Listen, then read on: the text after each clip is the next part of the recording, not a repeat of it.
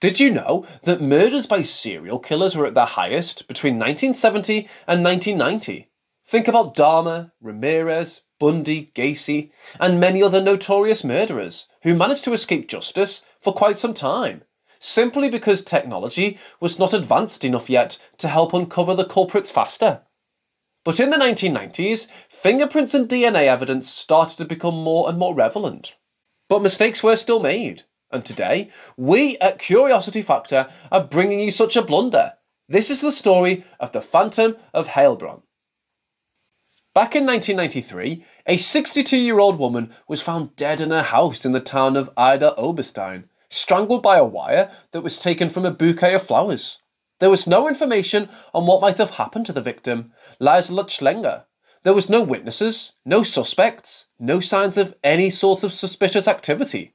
The only thing that police had was a DNA sample from a teacup near the victim.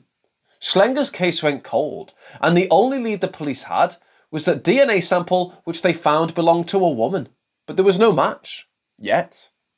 Eight years later, in 2001, a 61 year old man was then found dead in his kitchen in Freiburg, Germany. Again, just like Schlenger, the victim was strangled, and the same DNA was found on a kitchen drawer.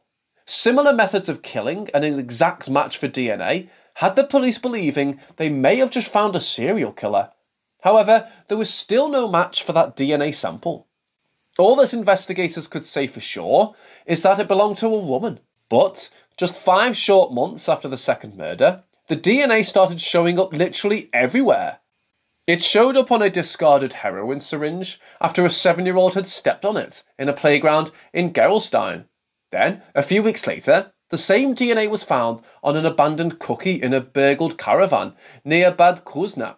It was found again at a break in in an office in Dietzenbach, then in a stolen car that was abandoned in Heilbronn, and it even showed up on two beer bottles and a glass of wine in a burgled bar in Karlsruhe. Probably the most odd place the woman's DNA was found was on one of the bullets in a case from May 2005, in which a man shot his brother. It was quite baffling, since it was known that the culprit was a man, and yet a woman's DNA was plastered over one of the bullets.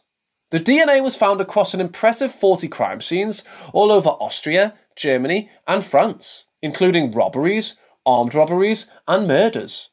Where it got really peculiar was that at those crime scenes, police not only found the woman's DNA, but also other people's DNA who were presumed to be her accomplices. However, it was never the same person twice, and no one would talk about this mysterious woman.